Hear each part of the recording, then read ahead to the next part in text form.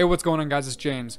Do you only have a few thousand dollars to invest into real estate? In this video, I'm showing with you how to find deals where that's all you need to invest in real estate and get inside your first property. If you love real estate and you want to retire in six years, subscribe to this YouTube channel, turn on bell notifications where I break down real estate investing for you guys. That way you can retire in six years. The type of properties that we're going to be looking at today are pre-foreclosures. Now, if you don't know what that is, what it means in a nutshell is a person that missed two, three, four months mortgages to the bank. Now the bank is telling them, hey, if you don't catch up on your payments, we're going to take possession of your property. That starts the whole foreclosure process, and I talk about that in that video up here. It's gonna be popping up, so go check out that video if you want to. But in this video, we're gonna be focusing on pre-foreclosures, how to get great deals before they go into the foreclosure process.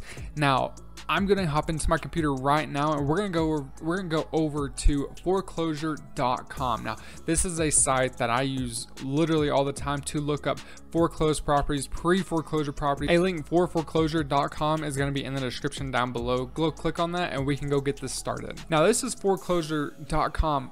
Every foreclosure, pre-foreclosure it's public record. All foreclosure does is take all of that information and put it into a singular website that we can go and utilize. And that's great because that saves us a lot of time and some things we might miss because this is automatically pulling records and records from states, cities, counties, everything. If you're taking value out of this video, hit that like button, turn it blue because it really does help out the channel. It helps me reach a broader audience. That way I can help more people achieve their financial freedom through real estate investing. We're going to look at Oklahoma City, Oklahoma.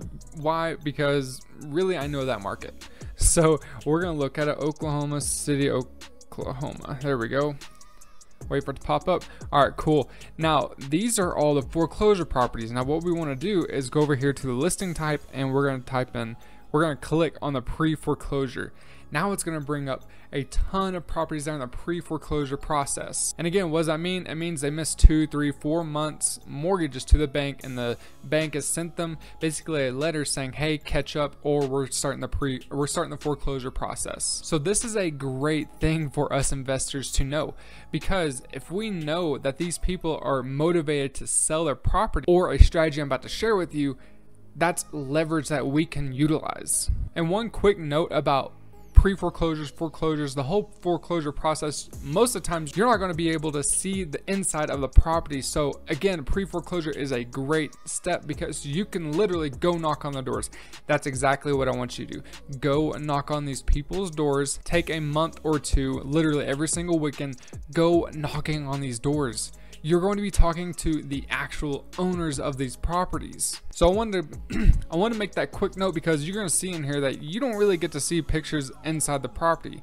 So we're going to click on, let's just say this this uh, pre-foreclosure right here, the 9109 South Lake Drive. So as you can tell what kind of style it is, you know the address. You can literally go there and knock on this person's door. If it's the homeowner, have a conversation with them. You might be thinking to yourself, you know, I only have a few thousand dollars. How am I going to buy this property? You're not going to buy it. So there's a thing called subject to, and I also like to call it seller financing.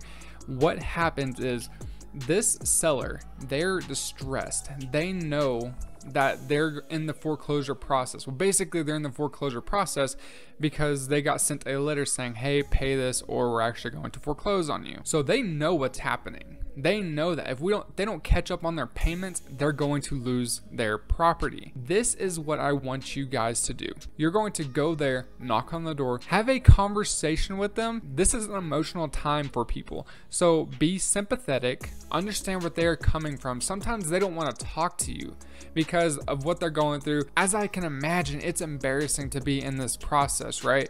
And have people know about it because it is public record. Anyone can find out if they're being foreclosed on. So put yourself in their shoes try to come up with a plan that meets their needs. Let's say, for example, this property, this 9109 uh, South Lake Drive, Oklahoma City. Let's say that they owe $5,000 on their, their, their mortgage payments, right? And that's what the bank needs them to make in order to bring their their account up to speed basically. This is where you can help you're going to go there knock on the door again. Put yourself in their shoes. They're going to be embarrassed. They're going to be kind of threatened, actually.